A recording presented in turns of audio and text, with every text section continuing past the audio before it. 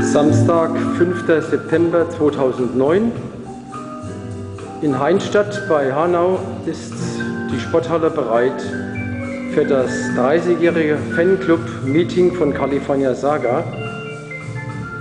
Die ersten Gäste sind schon da, dürfen aber noch nicht rein. So sieht es im Rohentwurf aus.